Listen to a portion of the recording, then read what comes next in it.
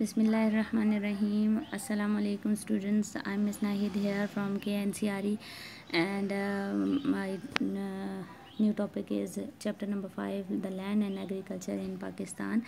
इंशाल्लाह we will discuss about the agriculture in Pakistan आपको जैसे पता है कि पाकिस्तान जो है एग्रीकल्चरल लैंड है और इसका जो सेवेंटी परसेंट पॉपुलेशन है वो इसी ऑक्यूपेशन से uh, um, जुड़ी हुई है ठीक है? इसके अलावा uh, ज़्यादा इनकम जो है या इंडस्ट्रीज़ जो हैं वो भी उसके लिए भी रॉ मटेरियल इसी एग्रीकल्चर सेक्टर से आता है। तो सारी इकॉनमी जो है वो हमारी एग्रीकल्चर सेक्टर पर ही डिपेंड कर रही है। ठीक है जी? अब ये देखें कि एग्रीकल्चर के लिए क्या क्या चीज़ें ज़रूरी होती हैं। इरीगेशन है, इरीगेशन नेटवर्क क्या होता है? इरीगेशन मीन आपको जो है वो Indus sorry, irrigation has one of the largest irrigation system in in the world found in Pakistan आपको इरिगेशन का जो वर्ल्ड लार्जेस्ट इरिगेशन सिस्टम है पाकिस्तान में वो मिलेगा। इसके अलावा आप जो है इरिगेशन सिस्टम होता क्या है? इरिगेशन सिस्टम ये है कि उस जगह जहाँ पर पानी मौजूद नहीं है, लेकिन लैंड फर्टाइल है तो उस जगह पर पानी को पहुँचाने के लिए जो तरीक़ाकार इस्तेमाल किया जाता है, वो इरीगेशन कहलाता है, ठीक है? एक जगह से पानी को ऐसी जगह पर जहाँ ज़मीन फर्टाइल है क्रॉप्स के लिए पानी पहुँचाना इरीगेशन सिस्टम कहलाता है ये दुनिया का सबसे बड़ा लार्जेस्ट सिस्टम पाकिस्तान में मौजूद है। पाकिस्तान में कौन कौन से अब तक मेथड्स जो हैं वो इरीगेशन के लिए यूज़ हो चुके हैं? रिवर्स हैं लेक्स हैं कैनाल्स हैं पर्शियन व्हील्स हैं आपको। पर्शियन व्हील की जो एग्ज़ाम्पल है वो पेज नंबर एटीन पे मिल जाएगी। डैम्स हैं बैराजेस वगैरह, ये तमाम चीज़ें इरीगेशन के लिए इस्तेमाल की जाती हैं, ठीक है? Forest of Pakistan forest of Pakistan जो है वो क्या क्या है? फॉरेस्ट ऑफ़ पाकिस्तान में कौन कौन से फॉरेस्ट शामिल हैं? ऑल दो कि ये बहुत कम है पाकिस्तान में बट बहुत कीमती जंगलात पाकिस्तान में पाए जाते हैं, ठीक है? पाकिस्तान में only four point eight percent जो है इरीगेशन सॉरी फॉरेस्ट मौजूद हैं जो twenty two thirty percent total area of Pakistan कहलाता है, ठीक है? टाइप्स ऑफ़ फॉरेस्ट कौन कौन से हैं? Productive forest and protected protection forest productive forest वो फॉरेस्ट हैं जो नेचुरली अल्लाह ताला की तरफ़ से मिले हुए हैं, ठीक है? गिफ्टेड हैं और प्रोटेक्शन फॉरेस्ट वो फॉरेस्ट हैं जो हमने प्लांट किए हुए हैं, खुद प्लांटेड फॉरेस्ट कहलाते हैं, ठीक है जी? इंपॉर्टेंस ऑफ़ फॉरेस्ट जो है, वो क्या है? रेगुलेट द इन्वायरमेंट है सॉइल ओरिजिन को रोकती है। इसके अलावा फर्टिलिटी ऑफ़ सॉइल को डिकम्पोजिशन की मदद से बढ़ाने में मदद देते हैं। कमर्शियल और इंडस्ट्रियल पॉइंट ऑफ़ व्यू से फॉरेस्ट जो है रॉ मटेरियल प्रोवाइड करते हैं इंडस्ट्रीज़ को। इसके अलावा टूरिज़्म और एम्प्लॉयमेंट को प्रमोट करते हैं और ग्लोबल वार्मिंग से रोकते हैं।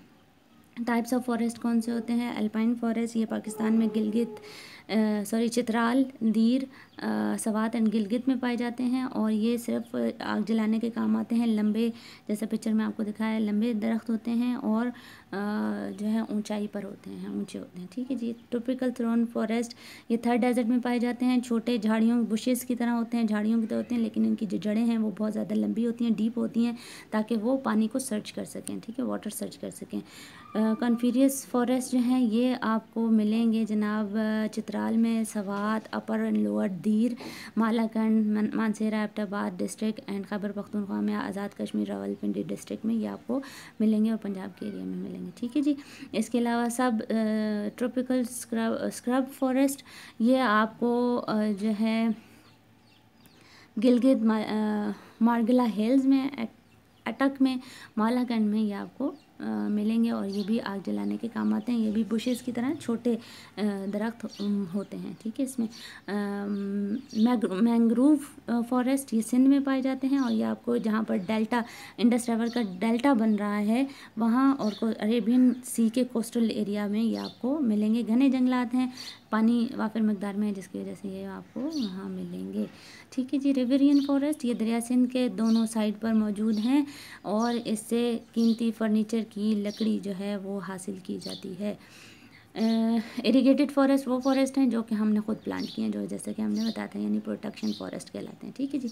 डिफॉरेस्ट्रेशन क्या है? Cleaning of forest land in is called the deforestation deforestation की जो आ, वजूहत हैं, क्यों की जाती है, क्यों क्यों, किस किस वजह से डिफॉरेस्टेशन की जाती है?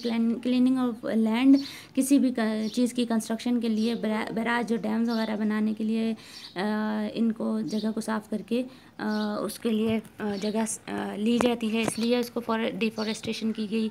अर्बनाइजेशन यानी कोई शहर आबाद करने के लिए भी डिफॉरेस्टेशन की गई। बिल्डिंग और ऑफ़ रोड्स रोड्स बनाने के लिए इंडस्ट्रियलाइजेशन इंडस्ट्रीज़ को डेवलप करने के लिए और over grazing cattle sheeps and gods have converted sub tropical and tropical thorn forest areas into the desert ठीक है? अच्छा ये देखें पिक्चर में अभी आपको ये सब दिखाया हुआ है, ठीक है? इफेक्ट्स ऑफ़ डिफॉरेस्टेशन ऑब्वियसली जब दरख्त नहीं होंगे तो सॉइल ओरिजिन भी होगा वेजिटेशन भी नहीं मिलेगी, बारिशें भी कम होंगी टेम्परेचर हाई हो जाएगा एनिमल्स के लिए जो चारा वगैरह वो भी आपको नहीं मिलेगा ब्यूटीफुल जो एनिमल्स हैं वो भी यहाँ से एक जगह से दूसरी जगह मूव कर जाएँगे और टूरिज़म भी जो है वो डिक्रीज़ हो जाएगा या उसमें, उसको भी प्रमोशन नहीं मिलेगा, लोग जो अट्रैक्ट होकर आते हैं, और ख़ूबसूरत लैंडस्केप्स भी ख़त्म हो जाएँगे। सोल्यूशन क्या है? ऑब्वियसली प्लांटेशन करना एक ही सोल्यूशन है कि डिफॉरेस्टेशन को रोका जाए स्ट्रिक्ट लॉज बनाए जाएँ और दरख्त उगाए जाएँ। ठीक है? सस्टेनेबिलिटी उसको सस्टेन भी रखा जाए फिर, ठीक? Mountains in Pakistan mountain Pakistan में कौन कौन से हैं कराकरम रेंज इन पाकिस्तान है? हिमालय रेंज इन पाकिस्तान है, Hindu Kush range in Pakistan, Hindu Hindu Raj mountain ये आपको हिंदू राज माउंटेन जो कराकरम रेंज हिंदू कश और कराकरम के बीच में मिलेगी। कोई सफ़ेद जो है, ये अफ़गानिस्तान के बॉर्डर पर बलूचिस्तान में मिलेगी। के टू जो है, वो पाकिस्तान का सेकंड वर्ल्ड का सेकंड हाईएस्ट पीक है। केरथर ये आपको बलूचिस्तान में केरथर मिलेगा माउंटेन इसको है सॉल्ट रेंज ये पंजाब में आपको मिलेगी। ठीक है, जिसको है सलमान जो है, ये आपको बलोचिस्तान में मिलेगा। Desert बॉस्ट and scrub land Pakistan में डेजर्ट कौन कौन से हैं? चोलिस्तान डेजर्ट, ये पंजाब के प्रोविंस में है, मिलेगा। थर्ड डेजर्ट जो है, ये सिंध में आपको मिलेगा। थर्ड डेजर्ट जो है, आपको पंजाब में मिलेगा, ठीक है? Indus valley desert and scrub land scrub land वो होते हैं, जैसे अब हम डेजर्ट तीन पड़े थे, वो टोटल डेजर्ट हैं, वहाँ रेत ही रहते कुछ और नहीं है।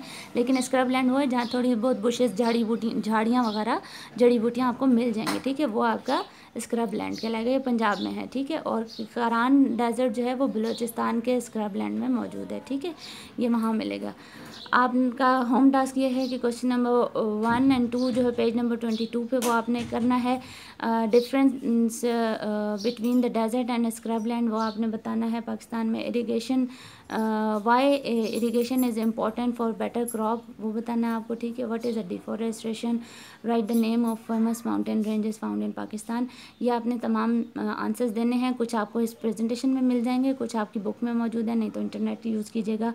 बट ये आंसर्स आपने देने हैं। हैं और इसके मार्क्स भी हैं ओके बेस्ट ऑफ़ लक इंशाल्लाह we will discuss about the land and agriculture in South Asia thank you so much